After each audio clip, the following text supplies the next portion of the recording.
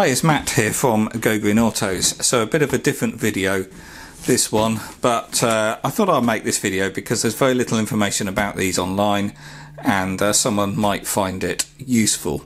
So this is a heater from a Renault Kangoo Electric, a Renault Kangoo ZE. Um, the part number is 271433935R and this is called the PTC heater and it's sort of becoming a bit of a problem on the Kangoo ZE because these uh, are failing and they are hugely expensive as well. So this is one that has been replaced. This is a failed heater from a 2014 Kangoo that had only done, I'm just looking up there, it's only done 8,300 miles and that heater unit had failed.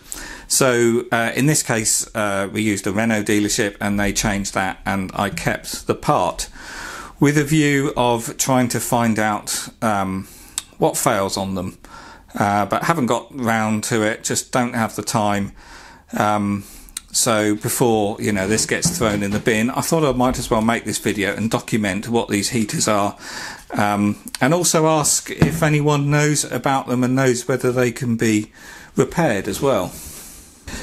So these heaters um, are fitted on the Kangoo ZEs. That's the 22 kilowatt hour models from uh, 2010 to 2017, 2018 or so when the 33 kilowatt hour models came in.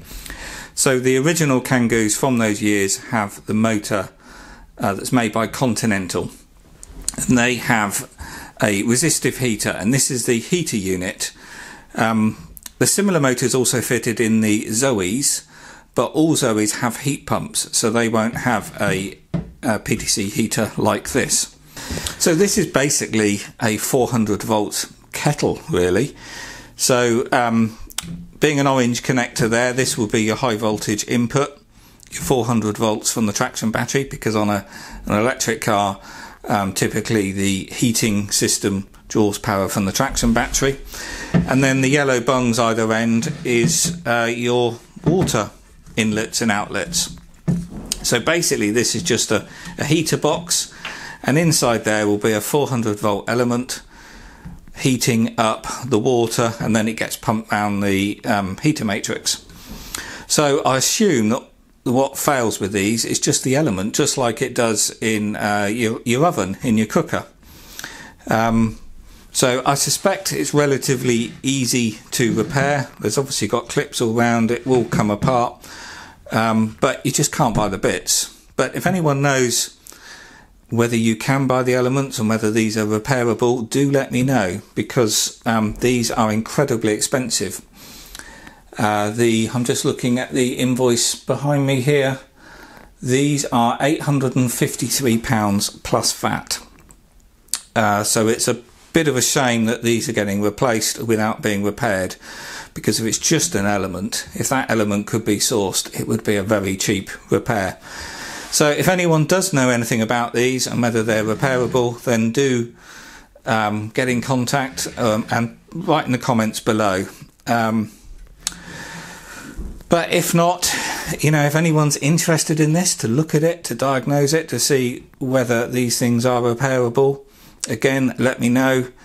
Um, I'm not going to do anything with this one now. Um, but obviously, I don't want to throw it away in the bin. If something could be done to help other future Kangoo drivers, then I'm willing to um, help out and donate this.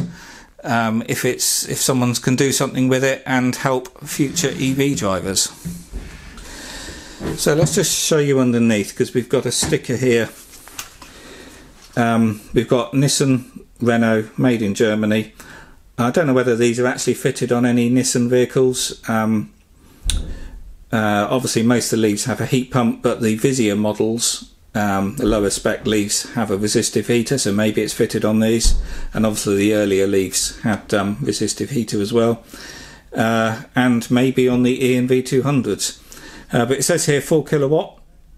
Um, it's got a different part number actually, just comparing that with the box. Yeah, this is saying 27143 7360RET. Uh, but Nissan and Renault have a habit of changing part numbers for the same part anyway, um, so we can't really read too much into that. Uh, but we can also see here the, what's probably the manufacturer of it. Um, I can read that Eber, Eber, Eber, uh, Eberspacher. I think that says it's very small. Anyway, I'll put that in the um, comments in the description below the video. Um, but yeah, if you, uh, I'm sure the manufacturer um, could repair these or maybe supply the elements. Um, it just seems it's such a ridiculously expensive unit to be replacing them without repairing them, um, and obviously being plastic, it's just an element and a water box. Um, I can't see why they should be so expensive. Uh, surely there must be some um, Hepford garages out there that have changed these. So if any of you guys are watching and you've um, know how to repair these, or, or maybe you're just replacing them like Renault dealers are, but it's such an expensive item. It's a shame that these are getting replaced and thrown away without being repaired. Anyway, that's about all I can tell you about the unit. If anyone knows any more, then um, do let me know. And as always, if you found this video interesting, please do click that thumbs up button on YouTube because that really does help other people find the channel.